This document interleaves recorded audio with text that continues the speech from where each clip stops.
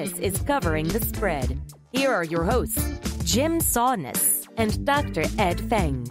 What is going on, everybody? Welcome on in to Covering the Spread. That's right here on the FanDuel Podcast Network and NumberFire.com as we are getting you set for week nine of NFL from a betting perspective, joined by Dr. Eric Eager of Pro Football Focus to get his favorite bets for week number nine. My name is Jim Sannes. I am a senior writer and analyst for NumberFire.com, joined here as always by Ed Feng. You can find his work over at thepowerrank.com and find him on Twitter at thepowerrank. Ed, happy Halloween to you. How are you doing?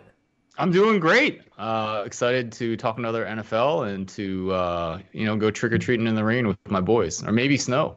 Yeah, I saw. I follow a lot of people uh, who live in Chicago still, and I woke up this morning, opened my Twitter, and saw snow, and I was like, okay, so we're there now. That's great. Yep. I'm excited for this. We're there. Yeah. Uh, so do you dress up to go trick or treating personally? Yeah, I'm not going to. You know, like there's some years that I have. Um, I usually like to use Halloween as a chance to do some kind of art.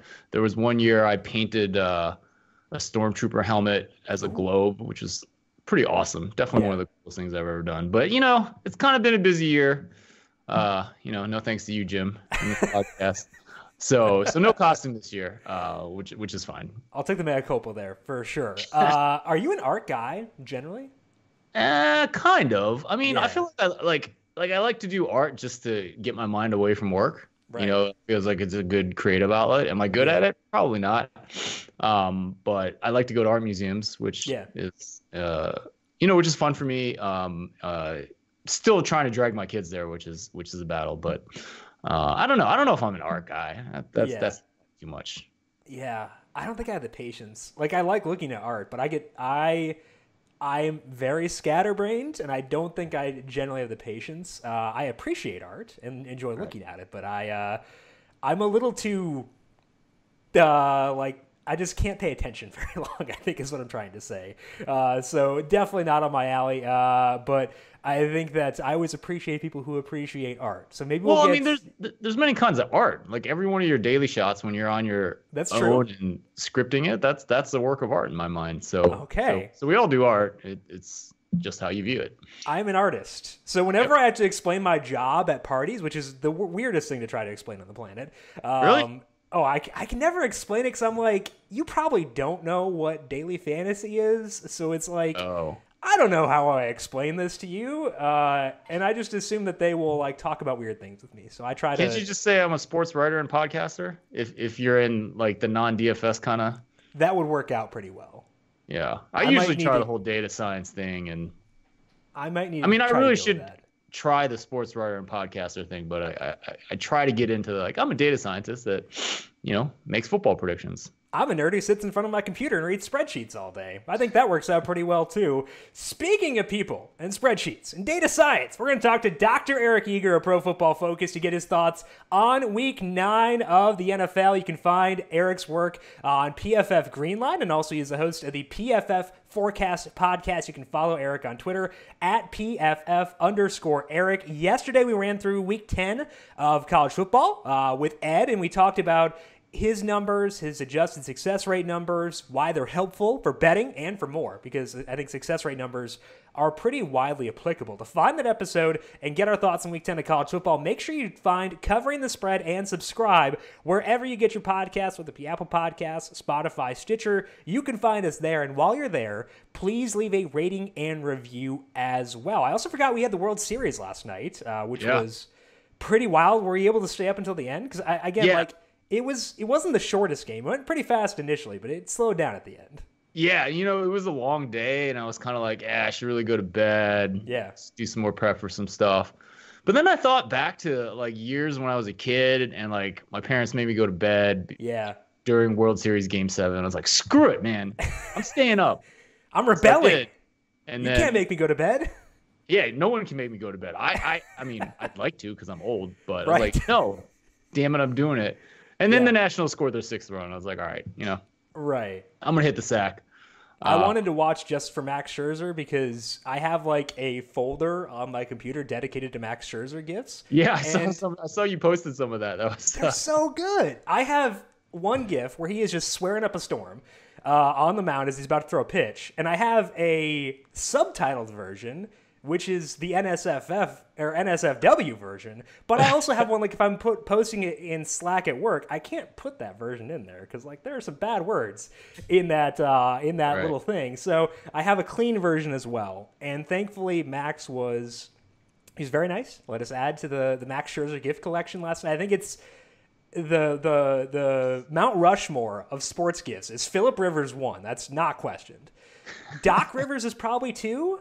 I think Max Scherzer is three, and the fourth spot is to be determined. Uh, maybe Nick Young. I don't know. We can we can figure this out, but I think that those three have to be on there. So it was uh, it was a lot of fun.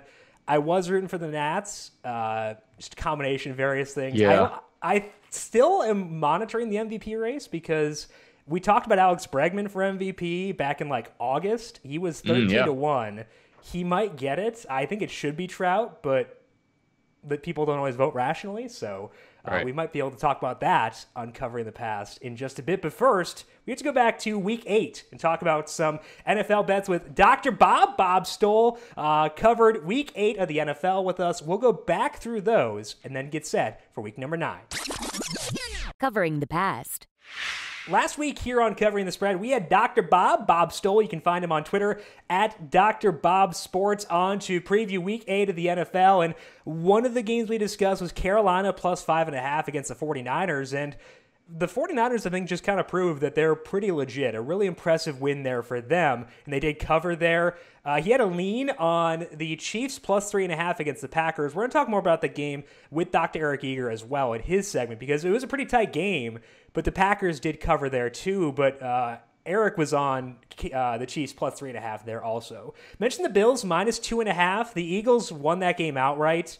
Bit of a statement game for them and a, a big victory for them too. So impressive win there for Philadelphia as they covered. And both you and Dr. Bob had the Chargers plus three and a half, and that one worked out. And it, they would have covered even if the Bears had made their field goal at the end. And of course Yeah. they didn't because it's the Bears. But I still feel like I have no grasp on the Chargers. But you you did get that one right there.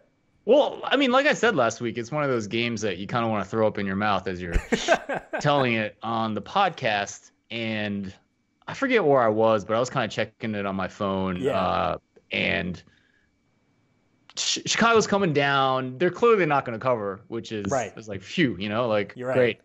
But then, you know, I mean, I still have like Chicago under nine wins that I sent to my members. Um, Yep. Uh, before the season started. And like, you know, I mean, there's a couple wins they have, especially that Denver game that they had no right winning. Probably should have won this game, but you know, then they blow the field goal. So now they're sitting at uh, three and four. Nine wins is looking further away. Um, so and now you know they're I think they're at Philly this week, pretty big Yeah. dog. Um, so uh, the regression that we that we thought for the Bears is, is definitely happening, and um, so it was a double win on Sunday. Absolutely. And they it's tough when you have an under and on a team like that and you get a cheap win that goes in their favor. Yep. That makes it it, it, it makes things a lot more aggravating. So thankfully things reverted back. It was self-inflicted that they lost that game because partially coaching, partially Trubisky being Trubisky, which was the thought process behind, I'm sure, betting the under there. Uh, so good call by you there. I wanted the under, or sorry, the over on Jets Jaguars. The total is 41 and a half, and it actually did go down. Uh, so I did, I got negative line movement, but it actually did go over. Uh, 29 to 15, the final score there. So that one did still go over. And a lot of it was because injuries to the Jets defense, injuries to uh, the Jaguars defense. Jets didn't play all that well, uh, but it did still go over, and the pace was a, a big part of it too. The Jets did slow down a bit more in that game, which is disappointing, but uh, that one did go over. So overs totals going pretty well so far this year. We're gonna talk about a couple more totals with Dr. Eric Eager of Pro Football Focus in just one second. But first, if you want to get in on the action, check out the FanDuel Sportsbook and place your first bet today. If you lose, FanDuel will give you a refund of up to $500 in site credit. Visit sportsbook.fanduel.com for more details. Terms and conditions apply. Must be 21 plus and physically present in New Jersey, Pennsylvania, West Virginia, or Indiana. Gambling problem? Call 1 800 GAMBLER. Let's bring on Dr. Eric Eager of Pro Football Focus. You can find him on Twitter at PFF underscore Eric. We'll have a couple of dueling PhDs on this podcast between Ed and Eric. And Eric is, of course, a data scientist who writes up their weekly NFL picks for PFF Greenline and hosts the PFF Forecast podcast. Let's break down number nine, week number nine of the NFL with Dr. Eric Eager. Covering the present. Let's bring Dr. Eric Eager into covering the spread, talking a little bit NFL this time. We had Eric on to talk college football last time. Of course, Eric is a data scientist at Pro Football Focus. You can find his work on the PFF Forecast podcast and also on PFF Greenline. Eric, happy Halloween. How are you doing today? I'm doing really well. I getting to work the second half of the day from home, so you can't complain about that. No, absolutely. Do you have any big plans for Halloween tonight? Uh, I normally go where they send me, uh, as far as uh, my my two daughters and my wife. Uh, so I'm I'm very much the uh, a, a supplementary, complementary player tonight. And is, are it, you is it raining? Raining down there? It it has been raining most of the day, uh, but it has stopped. So Okay. we'll see Oh, how that goes. so yeah, our fingers rain up here in Ann Arbor is supposed to turn into snow, which I'm very excited about. And I, yeah, w- w- this is not you know Jim knows this, but you know this is not Minnesota, so we don't we don't get snow this time until probably probably uh, Thanksgiving is the next holiday where we'll probably have snow.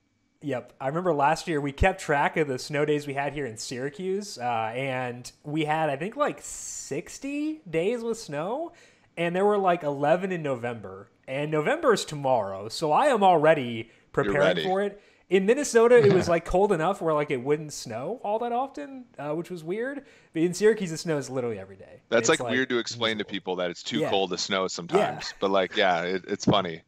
It's very weird. Uh, do you have like a Halloween costume you wear when you're going around with your kids?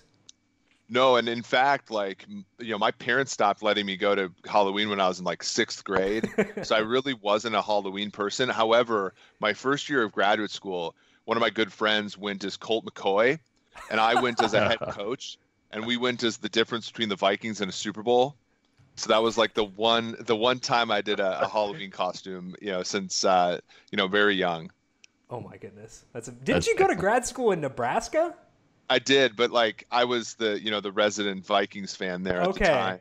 Okay. and uh, he ran him. And I, the joke was always the Vikings were a head coach and a quarterback away, and so we figured out we'd make that into a costume.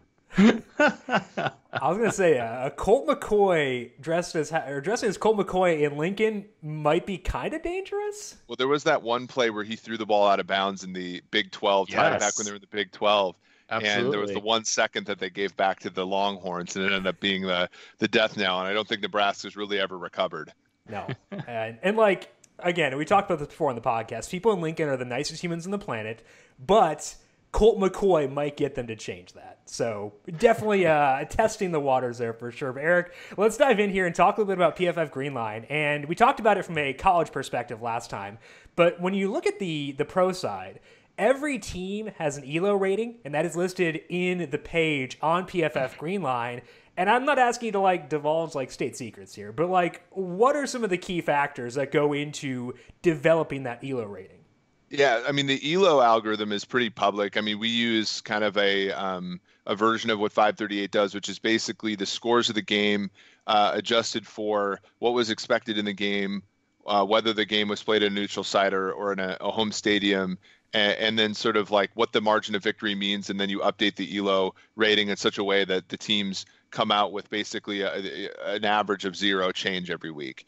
Um, the the thing that's different about us is we go through and we change what we think the score of the game is going to be. Uh, and I know that you know folks you know folks in the betting space do this all the time with game grades and everything, and we just simply use the PFF grades to do that. So, um, for example, if you have a game where um, one team just outperforms the other. Our grades for their pass protection, our grades for their coverage, our grades for their quarterback play are just substantially more than the than the uh, than the team on the other side. They're probably going to win the game by a margin bigger than what the actual score of the game was. Uh, and then conversely, there are going to be some games where a team's ELO rating is going to go down, even though they won because they were outplayed by the other team. Um, you know, this this Sunday we have a game in London. I remember a season ago when the Titans lost to the Chargers in London. We actually graded the the Titans as a better team that day than the, than the Chargers. So actually, their Elo rating went up, and the Chargers went down for that one. So that's just an example, and and you know, it's basically just us taking historical data and saying, okay, a team that grades this way generally scores this many points. A team that grades that that way generally will score that many points, and then what what that ends up being, uh, and and that's sort of worked for us so far. Yeah, that's awesome. So, Eric, last time you were on the show, you were telling us about the PFF grades, and, and you kind of blew my mind with the things that you were telling me about Dwayne Haskins. I kind of thought of him as a great quarterback, uh, very productive in the college level, and you were kind of like, no, no, no, no, no. It's kind of the the, the types of passes that he threw in college. Um, they tended to be easy passes, these wheel routes, these these crossing routes, um, and we've seen that it's been difficult for him to get off the bench in in Washington, a team that's not exactly lighting the world on fire. I also wanted to ask you, what did the PFF grade say about Daniel Jones? Uh, at Duke and and now that he's going to the New York Giants. Yeah, in, in most of the ways in which we evaluated the situation, we liked Haskins more than Jones, but with all the reservations that were accorded uh, to Haskins, it was, you know, the the issue with Jones is it's always hard to answer the entanglement problem when a quarterback does not play with any NFL caliber players the opportunity space for him is smaller than when somebody like Haskins. I mean, we look at Terry McLaurin right now. He's one of the best rookie receivers in the NFL, if not the best. And he wasn't necessarily even the most highly regarded person that Haskins was throwing to last year. Right. Uh, so that that's the tricky part. But yeah, we like Jones last season was our 21st graded quarterback in terms of passing grade, uh, whereas Haskins was 11th. Uh, Haskins was graded right below Gardner Minshew, right below Brett Rypien, right below Ryan Finley. Uh, three guys who will probably be starting relatively soon. Uh, and then uh, obviously Trevor Lawrence was fifth, Tua Tagovailoa fourth, and somebody who has also struggled at the NFL level, at least in the preseason, Will Grier was third for us, and then Murray was first. Um, so, uh, you know, we we did certainly not give him the a, a, plus grade for those tap passes that ended up being touchdowns. Um, some of the yards after the catch that they were getting on the crossers to guys like Parris Campbell were were not upgraded. Um, but but some of the stuff that Daniel Jones was doing was that was significantly getting downgraded. Um, mm-hmm. And so we ended up with a lower grade on Jones than Haskins. But both guys we were not necessarily you know pounding the table for to be top ten picks. Yeah, that's fascinating. And I'm looking at some of Duke's numbers. Uh, you know, my argument against him was always, you know, he didn't get it done at the college football level. Duke's offense and adjusted yards per play was very near FBS average in the mm-hmm. 60s. Well, Duke's offense is 109th right now. yes. So, um, you know, maybe maybe he had, you know, maybe there was a lot of things that he was doing well uh, that should have been appreciated. Yeah, and that being said, though, he at the NFL level has not been terrible. Like he obviously looks like. Right he can survive, but sure. he's producing a lot of turnover worthy plays. He's he's being negatively graded quite a bit on a, a lot of his throws. Um, so while I think he looks like a young quarterback should look, it's not like he's lighting the world on fire. Um, right. But also the same thing can be said. I mean, Kyler Murray looks like an NFL quarterback, but he's not necessarily, uh, you know, playing as well as Baker Mayfield did in the last stretch of the season last year, uh, or a guy like Deshaun Watson did during his first seven games. So um, whereas Haskins, when he's played, has so far looked like he doesn't belong in the NFL. So it's just a really interesting. Right. Uh, I think for all of these players, and and, and Ed, you had uh, Kevin Cole on your podcast this week. It's sort of one of those where we say, okay, where was the guy drafted? Um, let's add some yep. uncertainty to it. And then as the time space evolves, let's see how this goes. And I think for every single one of these guys, uh, it's a wait and see. And we may get to see Drew Lock as well at some point. Uh, Drew Lock, another pretty pol- polarizing guy. So what we've got you here, uh, you don't need to like. I, I, don't want to put you on the spot because we did not prepare you to talk about Drew Lock, but we'll probably see him probably within the next three or four weeks. Sounds like the plan is for him to be active in Week 11. Uh, what did PFF have to say about Drew Lock coming out? He graded 12th, so he's right behind Haskins. The the issue with Lock is really uh, what the at the core of some of the modeling decisions you have to make when projecting college to pro because Haskins, you have no choice. You have one season's worth of play, and that's right. basically what you have to build off of. With Lock, what you have is 4 years of play, two of which were bad, like legitimately bad quarterback play at the at the college level. And then the last two were increasingly better to the point where I would say Drew Lock was a decent college quarterback last season, all things told. But do you disregard like do you do you disregard what Lock did in those three years? Do you, what do you do for the um, the counterfactual with Haskins? If he would have played over J.T. Barrett, would he have you know, done as poorly or as well as Lock? So you know, I know Football Outsiders QBASE just ignores seasons, I believe, with a with a below a certain threshold in terms of yards per play, I believe. Um, whereas, you know, we I think would take into account weigh you know weigh those seasons uh, somewhat in our projection model. It's just a really interesting question. So for me i don't i didn't like Lock as a first round pick just because of his right. accuracy issues. Um, even last season in his good year he completed less than 63% of his passes um, uh, despite having you know playing in the sec and all that kind of stuff. Uh, but you know, I where he was picked, I thought it was a good pick because you know, second round picks in the NFL, especially there was their second of two. Uh, you know, they're they're much more of the you know, let's shoot for the shoot for the high variance there. And so at that position, I hate I didn't like the pick at all.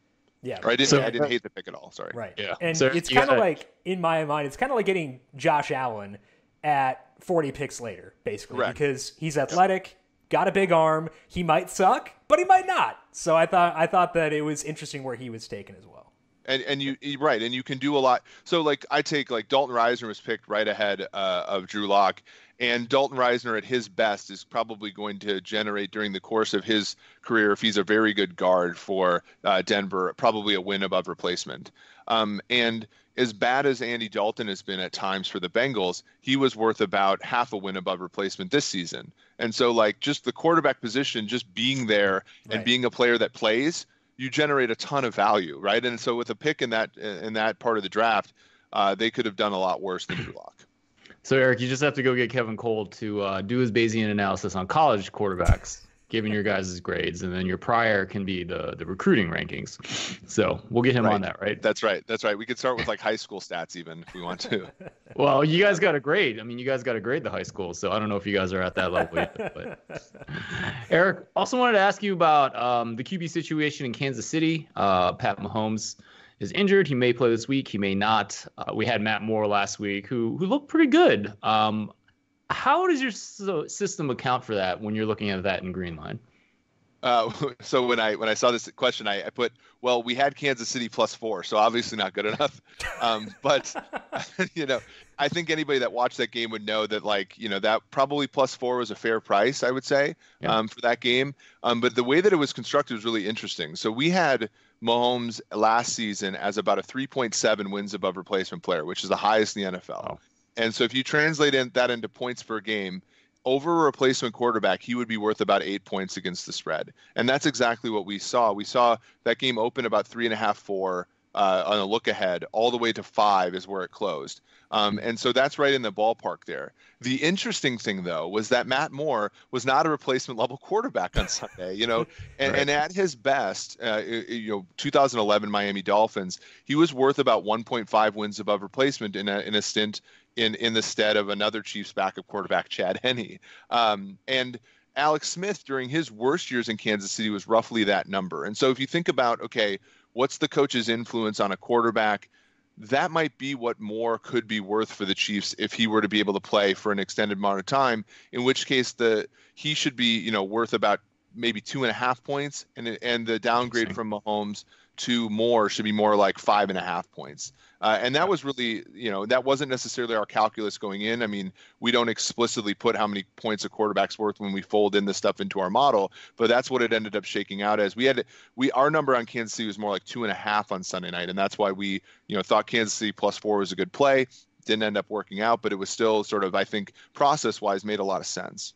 Yeah, we had Dr. Bob on last week, and he also said Kansas City, it was plus three and a half at the time. And he liked that number too, because he thought that the look ahead line, it just kind of overcorrected uh, for that. And a lot of it was based on the system that Andy Reid runs, giving us a different Matt Moore than what we saw in Miami. And it sounds like you were along the same line of thought there. Yeah, we we do a coaching metric, and you know and Andy Reid is traditionally our highest graded coach on a play for play basis. So he just gets more. What we do is we take the grades and we say, okay, how many expected points should this play have netted? And then how many do they get? And, and you know, you hmm. aggregate that over the course of a season. You throw out um, you know, uh, noisy type of plays, and Andy Reid always seems to be out on top. The issue with Reid has always been clock management right. and determining when to kick or or not kick on fourth down, which is really what, what was his uh, you know death knell on Sunday night. But on a play for play basis, it didn't surprise me that the Chiefs were effective offensively. Uh, I mean, honestly, the the difference in the game was that Shady McCoy still holds the ball like a loaf of bread in between the tackles. So uh, well, and that was really the, the what killed the, the Chiefs against the Packers. Well, and they couldn't tackle Aaron Jones on a pretty simple screen route. So, well, and one of the things that we'll, we'll probably talk about when we talk about the Packers game is what was what's been most impressive about Green Bay has been their ability to script plays. So the first 15 plays of the of the game, they're one of the most efficient teams in the NFL what was awesome to see about um, LaFleur as a head coach was Kansas City had figured out their offense in the second quarter, and they made a secondary adjustment to target the Chiefs linebackers, which is really a, an impressive thing, uh, you know, uh, in the second half. And they really just, I mean, it was something like 11 for 11 for 180 yards throwing on those three linebackers. So uh, it was really a great adjustment by the rookie head coach. So before we move into Texans Jags, uh, do you have any thoughts on Vikings Chiefs? Two teams you know a lot about, obviously. Uh, do you have a, you don't have to give a pick here, but just a, an overall thought on that game. Right now, the Vikings are favored by two and a half. We won't hold you to this. Just curious yeah. for your thoughts, given how much you know about the two teams. For me, I think it's Vikings or nothing, just because the Vikings offensively offer a lot of the same things that the Packers do. They have a dynamic running back who can catch the ball in the backfield. Um, you know, even the Packers, frankly, didn't have their best receiver on Sunday Night Football, uh, and still were able to to throw effectively. The Vikings might not have their most effective receiver on on Sunday, but they will have Stefon Diggs, uh, even if they're without Thielen. So I think on that side of the ball, the Vikings will probably have some success, and the Vikings defense I think is still a better unit than than Green Bay's, um, and has historically done really well against non-elite quarterbacks under Mike Zimmer. So it's really hard. I think you know there's always a chance Mahomes plays, and frankly, we thought that he there was a, a non-trivial chance he would have played last week, and one of the reasons we picked the game. Um, so.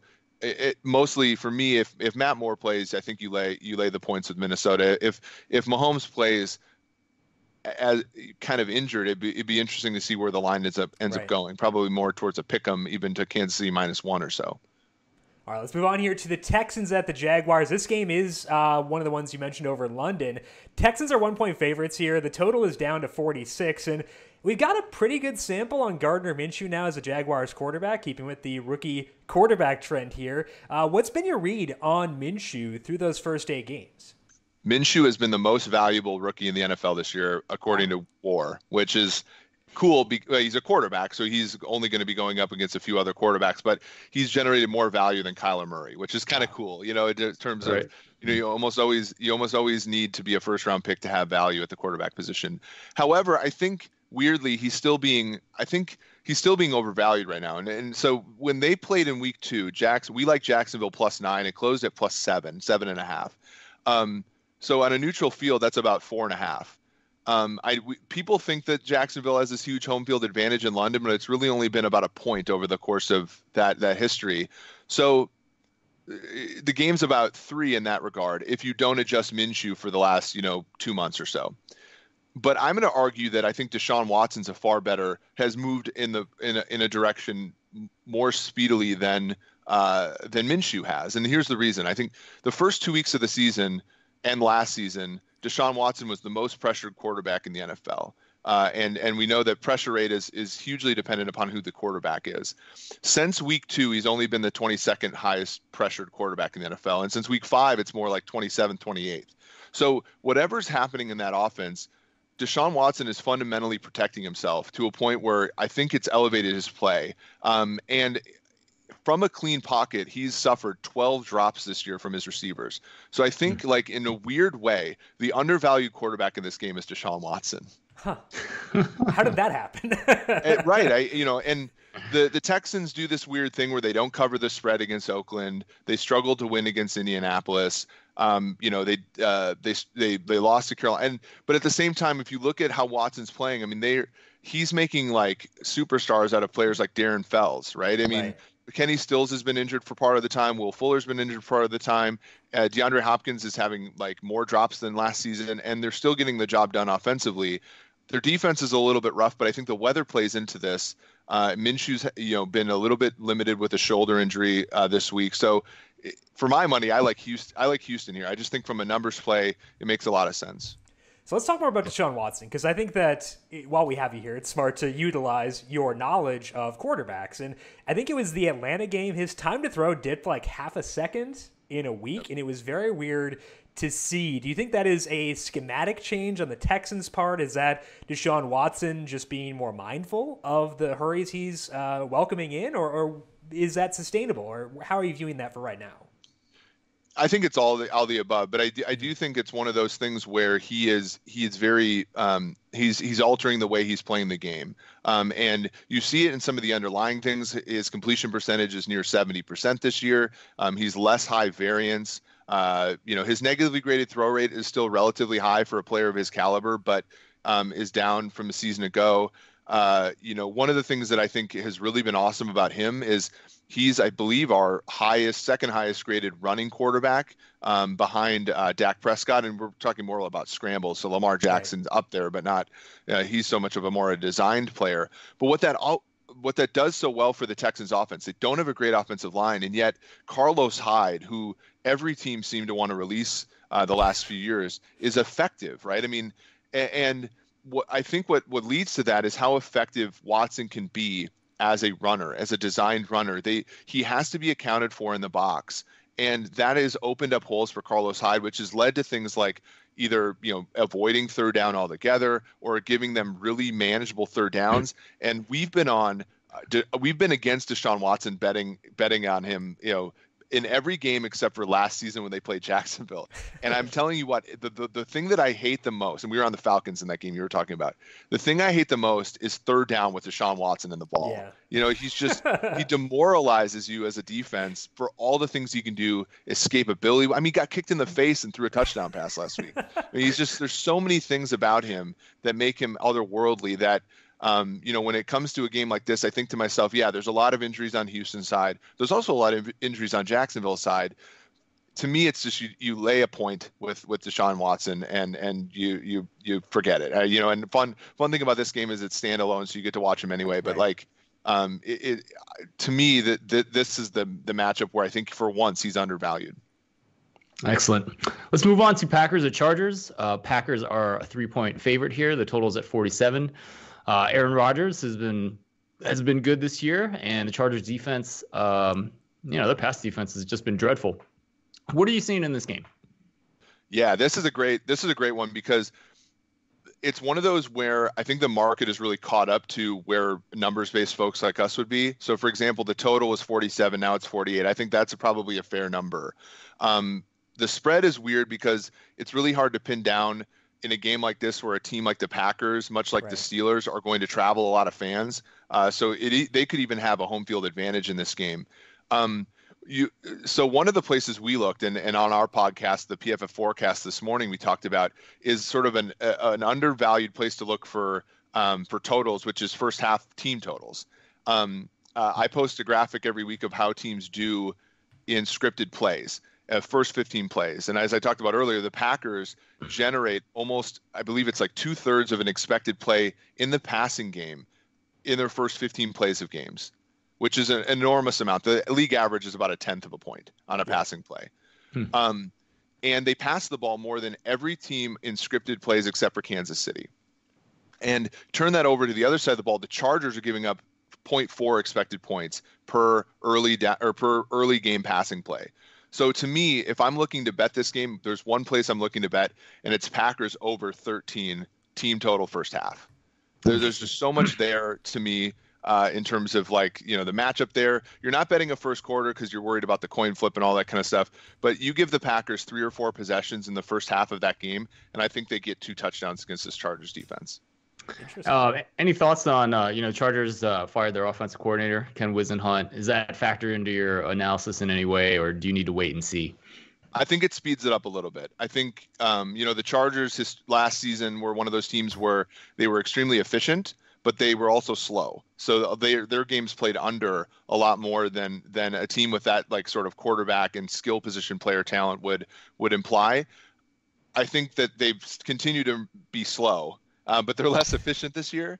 Um, one of the things that they, you know, with a new offensive coordinator that they probably should do if they're self scouting at all is try to pick up the tempo a little bit and, and use the fact if you have Philip Rivers on his last year, I'd rather him throw 40 passes than 30 passes, especially with a run game with Melvin Gordon that clearly isn't working. Um, they I think they, they should probably speed it up. In which case, you know, I, I like I said, I think the first the first half total is also probably something I'd bet over, although it's moved from 22 and a half to 23 and a half uh, throughout the week. Yeah, and with Mike Pouncey out, the ground game is probably not going to get a lot better. So it makes sense to be a bit more pass happy there. Let's move on to the Sunday night marquee game between the Patriots and the Ravens. I am beyond excited to watch this game. We get yep. Lamar Jackson against Bill Belichick, and the Patriots defense has been truly elite thus far, but I would say, at least to me, this is the best offense they've played. I think that given how good the Patriots have been, their schedule doesn't matter all that much. Like, they'd be good against anyone at this point, but can they keep up that dominance against a very good and a very unique offense? You bring you, the uniqueness is the huge thing, right? If you look at like the tendencies that the Ravens have, they run 11 personnel less than a lot of teams, right? They they're bigger than a lot of teams offensively, but they face a loaded box less than most teams. So somehow they have these teams in a position where they don't get to just stack the box against Lamar Jackson because they know he can burn them with a big play.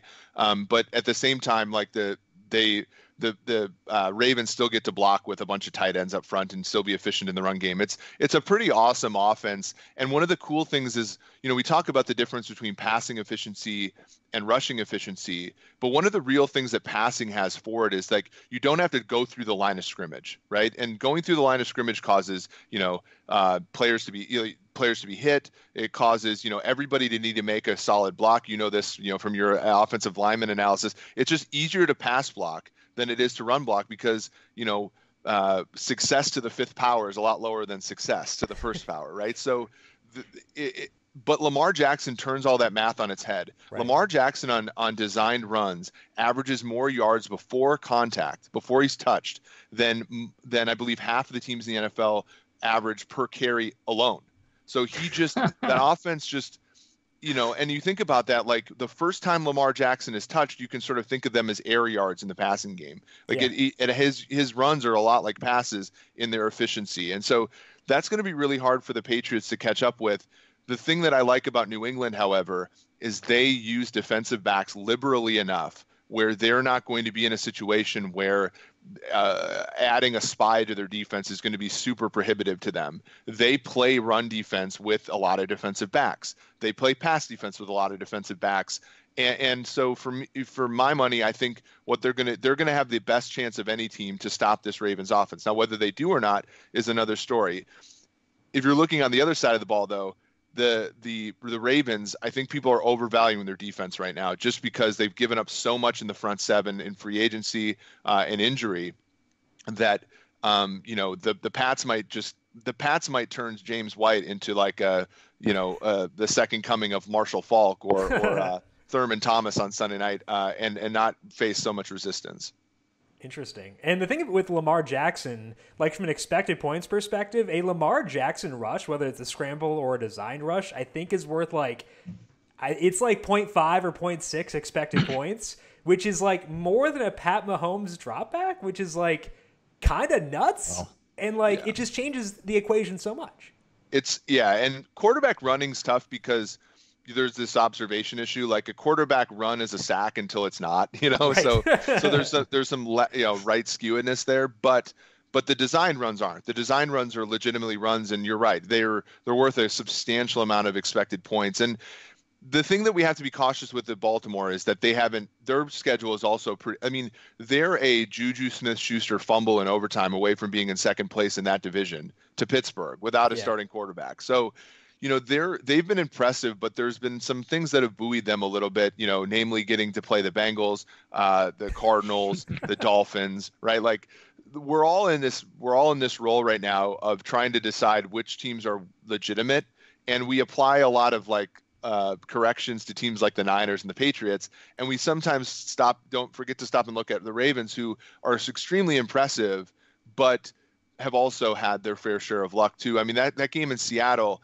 if if Russell Wilson doesn't throw a pick six to Marcus Peters while they're ahead by seven, that game might be a, a drastically different than than what it ended up being. So um, I'm really interested to see because again, the cool thing about the AFC is that the Ravens, the the Chiefs, uh, and the Houston all have to play uh, New England and and they probably also have to root for New England to get the two seed themselves. Right. Um, and, and, a team like Kansas City has already lost to uh, Houston and Indianapolis and beaten Baltimore. So there's all these like head-to-head matchups that are really going to matter once it comes playoff time for who's going to get that two seed. Yeah. Uh, do you have a lean on this game, or is it just an efficient line to you? Uh, I think I would lay three with New England. Um, just for the reasons I said, I think New England's being undervalued because of the schedule. I think the Ravens are not being necessarily as properly valued because of the schedule. Right. I think bye weeks, and, and granted, this might go out the window for well coached teams like the Ravens, who are very well coached. But bye weeks tend to elicit more rust sometimes than they do rest.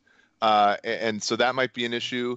Uh, and then for me, it's all about okay. You look at the you look at the mismatches here.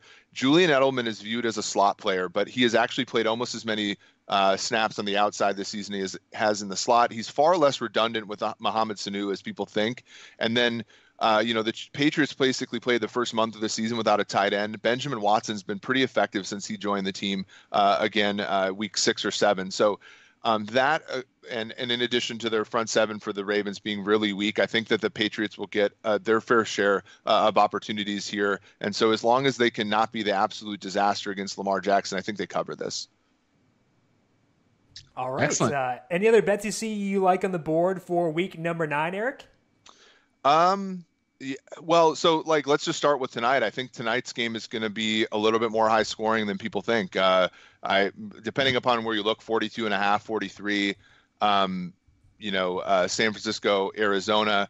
Um, and then I think another one that's sort of sneaky um, during during the the Sunday games is Seattle Tampa Bay. I think that game goes under. Uh, Seattle is for one, Seattle wants to run the football. Tampa Bay has been one of the best, if not the best, run defenses in the NFL, uh, sort of behind the scenes this season. Um, Seattle's played a lot of games under because they get ahead and they end up running the football uh, and, and, sort of um, you know let the game sort of clock away and then i think tampa bay is really going to after basically 11 turnovers in the last two games are really going to want to run the football and keep the ball out of Jameis Winston's hands so much. And so i think that game plays under uh, more than than people realize with two you know one really good quarterback and one high variance quarterback. I think it's going to scare too many people away. And we if if the seahawks were rationally coached they would throw the ball against tampa bay. But assumption of rational coaching is especially not relevant with the with the way that they've run their offense. So I think that makes a lot of sense. Yeah, for sure. Yep. All right, Eric. Uh, I want to thank you for swinging by here once again and talking a little NFL. And uh, we threw a lot of weird stuff at you there, so I appreciate you being uh, nimble on your toes, talking some quarterbacks and all that. I appreciate it. Have fun on Halloween, and hopefully we'll talk to you again soon. You guys too. A lot of fun to, to hang out and chat ball. Absolutely. Thank you covering the future. All right, one final thank you goes to Dr. Eric Eager for swinging by and breaking down week nine of the NFL. Follow Eric on Twitter at PFF underscore Eric. And, and the thing that I like about Eric is that we can throw him curveballs and ask him about a random array of quarterbacks, and he just knows off the top of his head how they graded out on Pro Football Focus. So uh, it's fun to talk football with him. You know, he knows his stuff, and uh, I think that it's it's really fun to have guests like that on all the time.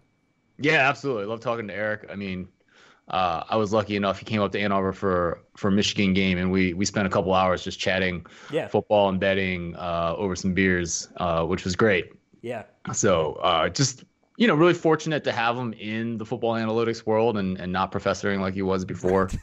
Uh, so it's a it's it's a benefit for all of us. Absolutely. We are all winners for Eric's knowledge. Again, follow him on Twitter at PFF underscore Eric. We'll take a look at covering the future in just one second, but Ed and I always preach searching for the best value in betting on games. Look no further than the new odds comparison our engineers have developed over at numberfire.com. OddsFire is a premier odds comparison experience across major bookmakers in the regulated U.S. market. Compare odds, quickly identify the best value, and even examine first party FanDuel data all in one place. Never settle, always get the best odds. Check out the experience for free now on Numberfire or at oddsfire.com. Gambling problem? Call 1 800 Gambler. Let's dive in now to covering the future. And Ed, you want to talk about that Patriots and Ravens game? I am obsessed with this game. I want to watch every second of this game. Uh, what is your lean on this one here between the Pats and the Ravens? Well, I mean, if it's a Patriots game, you should always lean towards the Patriots, right? I mean, as, I, as a rule of thumb, sure, yeah, yeah, as a rule of thumb. I mean, I think they've covered, I don't know, fifty-three ish percent of the time. yeah, Um, and it, you know, it's it, it's always good when the Patriots kind of have a a, a a bad stretch yeah, because then you're actually getting value on it. yeah, Um, you know, where your numbers are kind of when the markets start to doubt them, you know, and Brady's getting old and, and whatnot. But, you know, I actually had them uh, with with good Super Bowl odds before the start of the playoff last year, which I sent out to some of my which I sent out to my members and, you know, was lucky to have that work out. But anyways, you know, the Patriots are 8 0 halfway through the season and they look pretty invincible and, you know, they're they're blowing out teams, you know, only the Buffalo game has been within one score and you don't have to look too hard to find out you know why. Uh, the pass defense has been amazing. The only thing bad you can say is that they're second in my adjusted success rate behind San Francisco. Um, so definitely an elite unit. And when you go on PFF and look at the grades, like the cornerbacks, Stephon Gilmore, Jonathan Jones, Jason McCourty, are all grading out so high. So they, they, have their own no-fly zone there, and and that's a unit that's really going to propel them. But there's some things that I'm kind of watching for with this New England team to see if there's any chinks in the armor. And the first one's kind of obvious. They're plus 17 in turnover margin. Uh, that is unsustainable. Uh, you expect them to be maybe a little bit better than average just because they're winning games, and uh, you know when teams are down, tend to throw more, and the interception rate gets higher. Um, but you're not gonna you're not gonna continue to be plus 17 over a stretch of eight games. And you know this really manifests like turnovers really manifest when you look at the the final margin of victory. And so when I first got into this business, I started doing team rankings that take margin of victory and adjust for strength of schedule. I still find that to be a powerful predictor. That metric says that the Patriots are 15 points better than an average NFL team. Yeah, that's too much. Um, the other thing that I'm really looking at is the pass offense. So when I look at success rate on passing plays, they're 15th, which is you know not particularly good. Uh, they actually get downgraded to 19th when I make schedule adjustments. Uh, they haven't faced the best slate of pass defenses. Uh, only Pittsburgh and Cleveland rank in the top half of the NFL uh, when you look at who they faced. So again, the the benefits of of the schedule adjustments that I make for success rate. Uh, and I'm not trying to say that that that that Tom Brady is off his game or, or getting old, but there are some interesting comparisons between this year and previous years. So you can look at ADOT, uh, which is average depth of target. So how uh, how long the ball is in the air, and it, his it, it his ADOT is 7.2 yards this year, well, which is 23rd in the NFL. It's lower than it was last year, uh, which was almost eight yards of of air yards. So you know, is is is part of it like his completion rate's about the same, but you know, part of it might be that he's just not throwing as deep. There's no Gronk this year. Josh Gordon's been out, and then you know, a PFF grade of 81 is very good. Uh, but it's also the lowest that they've had for him since since 2013 as well. So definitely things I'm looking for: the turnover margin, what their pass offense does. Clearly, this team can still win a Super Bowl just on their being carried by their defense. Like their defense is is that good. Um, but we'll see if there are any chinks in the armor. My numbers like uh, New England by 3.8 points, which actually suggests a lean on New England. Like I said at the beginning, you should always lean towards New England, uh, and it's going to be a fantastic game. And so you're saying more so long term, you want to see how they hold up as we get further into the season. Yeah, for sure. I mean, I, I it, you know, it, it, the road is definitely going to get tougher when Mahomes uh, comes back from Kansas City. Um, uh, there, there's some interesting hurdles in the AFC, and uh, you know, I mean, I, I, think you always lean towards uh, Belichick and Brady, but right. um, just it, it, was an interesting exercise to see what what was going on with this team, and yeah, numberFire's numbers are also. A bit skeptical of the passing offense, I would say. Uh, David right. Andrews, their center, has been out. Uh, their left tackle, Isaiah Wynn, is on IR sounds like he may be one of the guys designated to return, but they've had injuries on the offensive line, and those aren't going to magically fix. Andrews is out for the year, their center. So I think that there are some questions around the offense. Uh, they're, they're Dev, uh, James Develin, their, their fullback, too. I don't know how much an impact that makes, but they've had some issues, and those haven't shown up because they haven't faced great defense. Now, like Eric said, the Ravens aren't great, and that's why your numbers probably still lean towards the Patriots.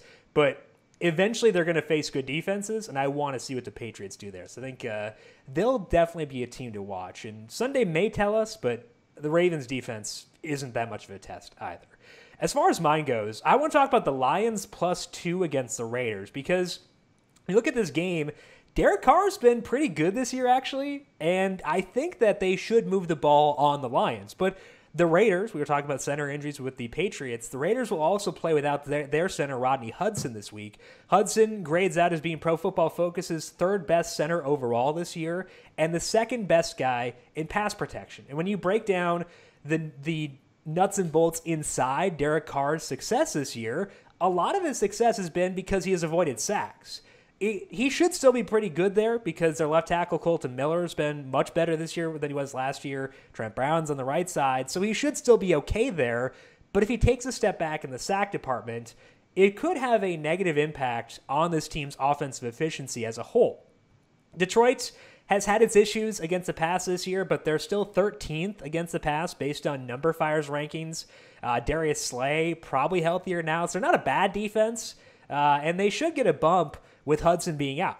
On the other side of the ball, the Raiders are 29th against the pass this year. They have been just gutted by Deshaun Watson and Aaron Rodgers the past two weeks. And yeah, Deshaun Watson and Aaron Rodgers are really good quarterbacks, but Matthew Stafford has been a really good quarterback this year, too. He is seventh in per dropback efficiency based on number numberFire's metrics, and he's actually one spot ahead of Aaron Rodgers in that department for the full season. He is throwing the ball deep a ton. You were talking about the ADOT uh, for Tom Brady. Matthew Stafford has gone the exact opposite direction this year. He is chucking it deep, and it's working out really well when you have guys like Marvin Jones and Kenny Golladay on the receiving end. Now, the Lions do go outdoors here, uh, so that efficiency could take a step back, but I still think they're going to move the ball very well here. I think the Lions' money line is in play at plus 116 if you want to go that route.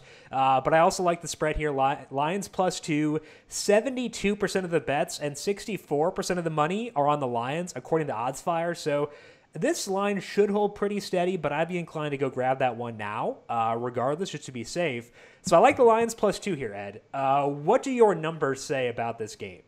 Yeah, I mean my my uh, my numbers like it as well. They, I mean, they have Oakland winning by 1.3 points, so definitely suggest the Lions on the side. Yeah, I, I am glad you mentioned the ADOT of, of Stafford. He's he's third in the NFL, over 10 yards of air yards on average for every time he throws the ball.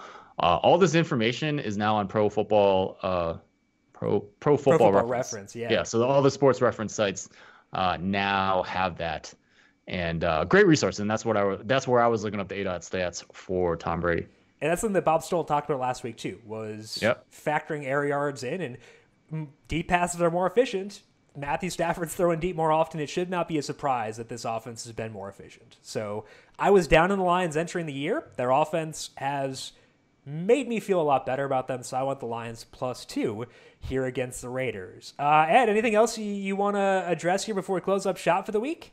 Yeah, I kind of got a funny story. So so last night my my wife she had to go get her nails done, and there was some family drama. My boys were like, "Oh, we we want to go," and I was like, "Well, crap, I got nothing to do." So the four of us ended up walking into this nail salon and you know we tried to sit down next to her but that didn't work and so so my boys are like well we'll just go sit in the corner and, and watch a show but the place smelled so awful that the three of us could not like help but like holding our noses in there.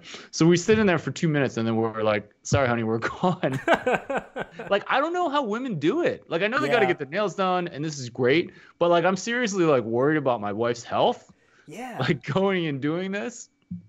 Um, it, it just, it, yeah, it was it was kind of toxic. So that's a anyways, lot of we, toxins we, to be inhaling, and it's not like you go in for five minutes. When you get your nails, it's an done, hour. Yeah. yeah.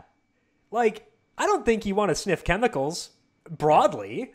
Uh, yeah. Maybe you do. I don't know. I don't want to speak for other people, but like, I don't think you want to sniff chemicals for five minutes, much less an hour. And I would be frightened. I I can't I personally like do like manicures and pedicures because if people touch my feet, I will kick them accidentally, like not on purpose. I am just very ticklish, and it would not go very well. So I keep myself out of that for the safety of others because yeah. I just I don't think I could do that with my feet. Well, and even if I wanted to get my nails done, like I'm not sitting in there for an hour, man. Right. Unless happening. you have like a Like even a The nose plug trap. doesn't work because you're still inhaling it. You just don't smell it. Like you're still Exactly. inhaling the toxins. Exactly. So is your wife acting a little weird today now, or is she good? Well, she does this. She does this like every other week. So Right, it's a right. regular thing for her. But I don't know. It's kind of like, eh. That's the problem. Is I look at my toes and I know I could use it. Like I know I could use it. Deep down inside, I'm like, I could use some pampering down there, uh, but I can't do it. Just I, I don't want to kick people in the face. Trying to avoid that. Yeah. Trying to cut that out of my life. So uh, I think that's a valid concern. We'll have to Oh, yeah. look deeper into that. Uh, anything else popping for you the rest of the week over at the Power Rank or on the Football Analytics Show? Yeah, I mean, you can always get my newsletter at the Power Rank. But actually, I, I should really plug uh, the guys over at Man versus Model. It's a podcast. Uh, does some college football betting, and they had me on the show this week. We did it last night, and it was super fun. I think it was Yeah. a really good show. These guys really put a lot of effort into preparing, like Jim Sannes levels of, of preparation into their rundown and what they're going to say. Um, and you know, it's lighthearted and there's a lot of joking around. And I don't know, I actually actually even divulged why I was mad at Bill Connolly. Um, which I actually haven't even told Bill, although I doubt it's it's not like he couldn't figure it out. Um, but it was just a fun conversation. Uh, we talked about Dr. Eric Eager as well, and, Yeah. and Kevin Cole, and and so uh, it's it's man versus model. Uh, Okay. It's not out right now, but it should be out by the time this podcast is out. Um, yeah, it was a lot of fun. Okay, interesting. And uh, what what is the the concept of the show? It's an interesting title. Yeah, so it's it's it's this kind of battle royale between man versus uh, uh model. Uh, Yeah. Um, so William was one of the hosts. He he has his own model, and he he talks about that on the show. And, some of the other guys come from more traditional betting perspective. And um, yeah, that's that's the premise. And they had me on as a guest. It was super fun. Interesting. I have- to check that out just to hear the Bill Connolly story because I'm very interested in that. you can find all of Ed's work over at thepowerrank.com. You can follow him on Twitter at thepowerrank and find his other podcast, The Football Analytics Show, wherever you get your podcasts. I am at Jim Sannes on Twitter, J I M S A N N E S. We put up our DFS Week 9 preview podcast with myself and Brandon Gadulia. Gdula earlier today. You can check that out by searching for the numberFire Daily Fantasy Podcast feed. And you can also follow the FanDuel Podcast Network at FanDuel Podcast. Big thank you to Calvin Theobald for keeping us on the air from a video perspective here today. Thank you always, as Cal, for doing that. And thank you to everyone for tuning in for this week's episodes of Covering the Spread. Again, Week 10 college football went up, talking with Ed about his adjusted success rate numbers. You can find that by searching for Covering the Spread wherever you get your podcasts and leaving a rating and review while you are there. Good luck with your bets in week 10 and week 9, and we'll talk to you again next week. This has been Covering the Spread right here on the FanDuel Podcast Network.